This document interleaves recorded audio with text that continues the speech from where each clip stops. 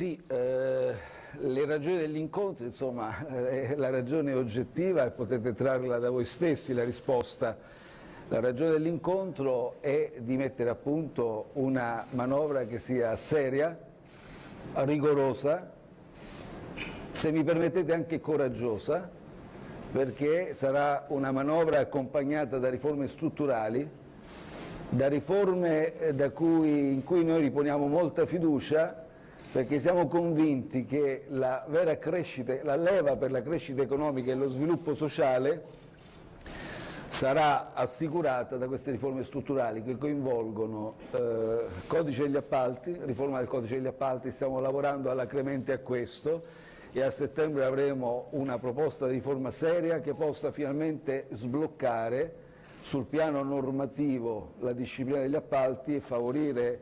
quindi maggior, un quadro di maggior certezza giuridica per poter rilanciare gli appalti. Stiamo lavorando anche alla semplificazione normativa e burocratica,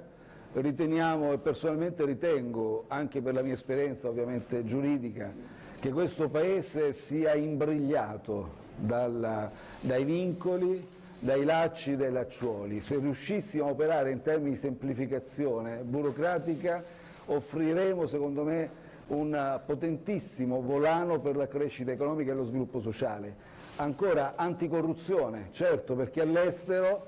voi pensate che quando, dovete pensare che quando incontro i miei omologhi e quando incontro vari esponenti della comunità internazionale, una delle attenzioni maggiori è dedicata proprio alla,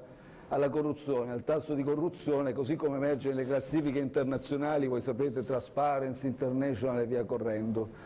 Anche lì quindi con le misure anticorruzione che porteremo a settembre confidiamo di costruire un ulteriore tassello che accompagnerà una efficace manovra economica non solo accelerazione dei processi, soprattutto civili, lo dico da giurista, è inaccettabile, oltre che da privato cittadino,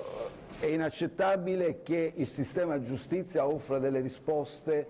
che arrivano dopo anni. Non solo, spesso trascura che il problema non è solo la sentenza, il problema è il recupero ad esempio del credito, della pretesa economica, la realizzazione della pretesa economica, quindi c'è anche da riformare il processo esecutivo. Dobbiamo lavorare a questo, stiamo lavorando alacremente anche a questo.